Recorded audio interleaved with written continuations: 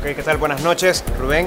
¿Cómo, ¿Cómo estamos? estás? ¿Cómo te ido? ¿Todo bien? ¿Qué tal después de esa ponencia de 45 minutos de pura experiencia que nos transmitiste ahí? Mucha energía, mucha adrenalina, creo que los jóvenes están muy motivados en aprender, hay muchas ideas de startups, de emprendimiento, con muchas ansias las personas de conocer cómo pueden poner en marcha todas estas ideas que tienen tan innovadoras.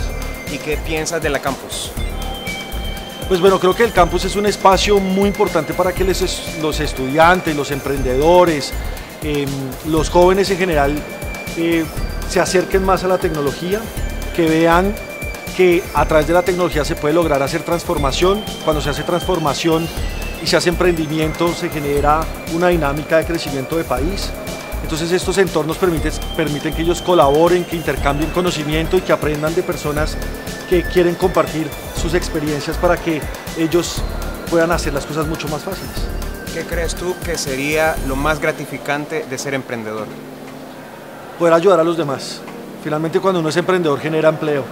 Y cuando uno genera empleo pues le está dando la oportunidad a personas que de pronto no tenían un ingreso a tenerlo.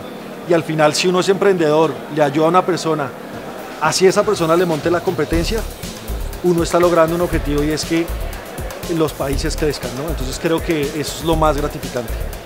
¿Qué le podrías decir tú a los campuseros salvadoreños? Básicamente que recuerden que el recurso más económico, pero más potente es la mente y hay que ponerla a trabajar. Eh, si la quieren poner a trabajar con tecnología, que recuerden que las empresas como nosotros tienen una serie de programas que los ayudan para que ellos puedan potenciar su conocimiento, para que tengan acceso a las últimas tecnologías, pero así como Microsoft entrega estos programas, eh, los empresarios en general, los países también tienen que hacerlo. Entonces la invitación es a utilizar la mente, a utilizar la tecnología, un computador, en un garaje, en un tiempo libre, puede desarrollar una idea realmente transformadora. Perfecto. Bueno, Rubén, muchísimas gracias Muchísimas gracias por, por todo. compartir con nosotros. Muy amables. Ok, gracias. Gracias. Seguimos.